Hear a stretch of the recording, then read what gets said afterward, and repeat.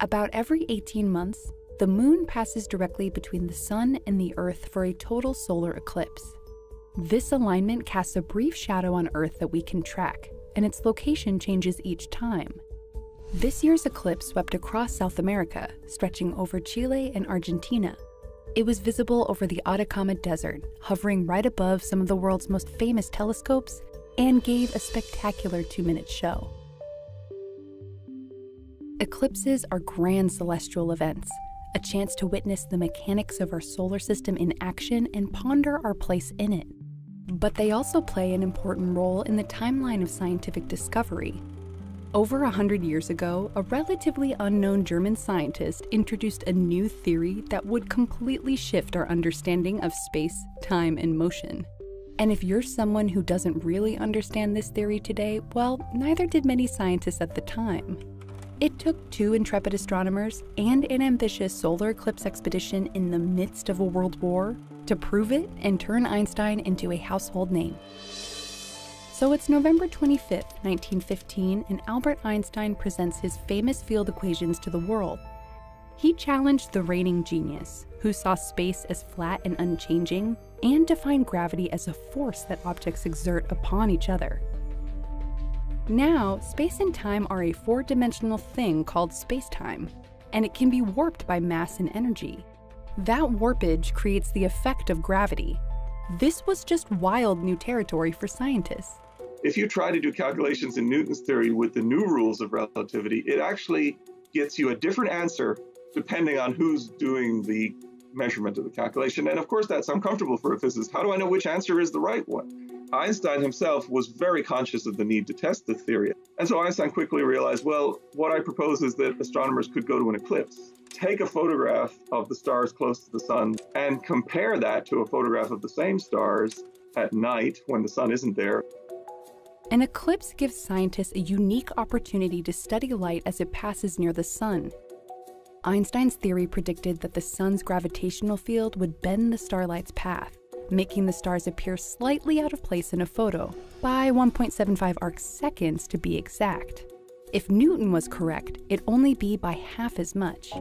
Einstein himself really promoted it. He got a German astronomer called Erwin Freundlich to try to observe an eclipse in Russia. Freundlich was German, so the Russians arrested him as an enemy alien. He never saw the eclipse.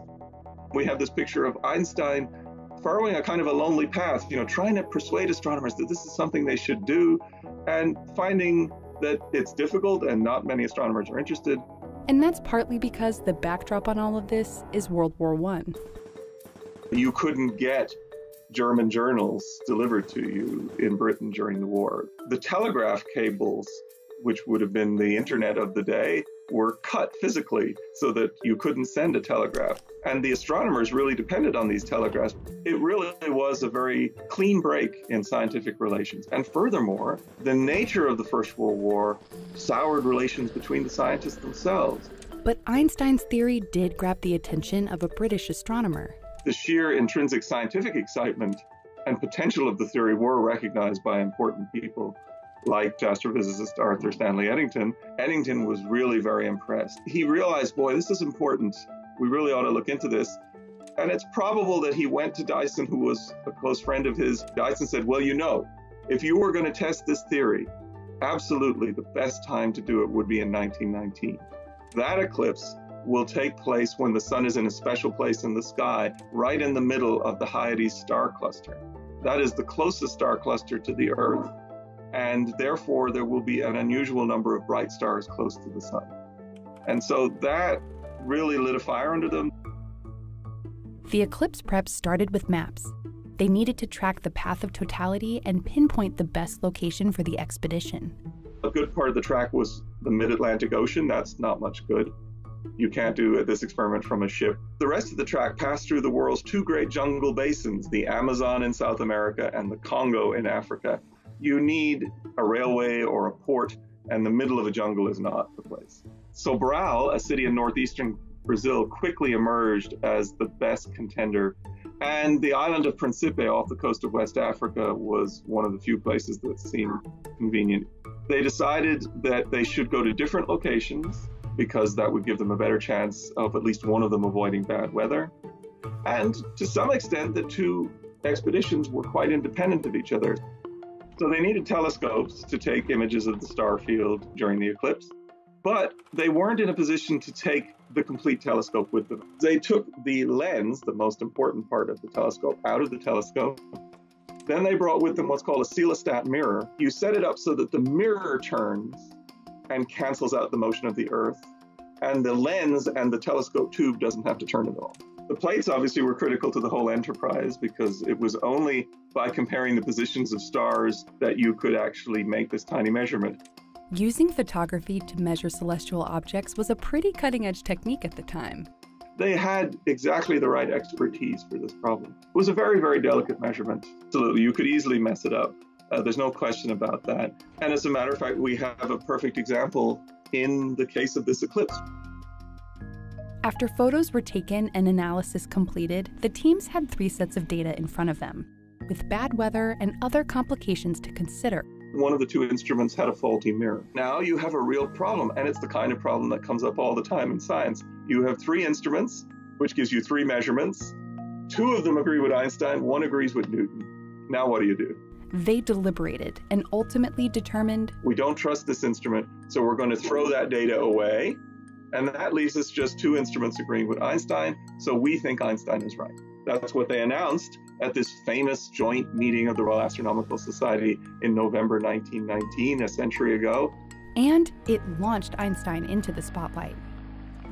It's remarkable how it caught the public imagination. Here is this English team proving the theory of a German scientist. The idea that science could, in the end, rise above nationalistic differences turned out to be quite appealing. I'm sure a big part of it is simply that if what most of us know about science, even if we've just had one physics class ever in our lives, we know about Newton's theory of gravity. And here was that famous theory being overthrown by this new guy and this new theory, which nobody was able to explain because it was so difficult. That certainly seems to have caught people's attention. A scientific theory isn't just about writing down a set of equations or coming up with a big idea. It has to be capable of predicting new things, coming up with new explanations for things that are puzzling us. Well, certainly this theory has come through in a really impressive way. Black holes, gravitational waves, gravitational lensing, the very thing that they went to measure, the fact that light is bent by gravity means that really large objects like galaxies and black holes can actually focus light towards us. In many, many ways, it's revolutionized our view of the world around us, our understanding of the universe. But I had to ask Daniel is there a theory out there that could upend Einstein? It's been an essential theme in our coverage here at Seeker and a puzzle for scientists today. General relativity has passed every test, but it's incompatible with the quantum view of nature. There's no doubt that we're in some ways in a very similar situation to the one that confronted scientists 100 years ago. Einstein's theory actually presumes that nature is continuous, and quantum theory says, no, no, it comes in little chunks. How do we reconcile these two theories? There are many candidate theories string theory, loop quantum gravity, and there are others.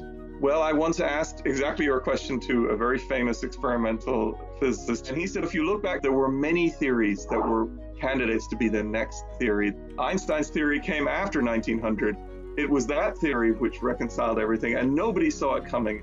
It could be that we will have a new theory, but that theory hasn't even been born in the mind of its creator yet.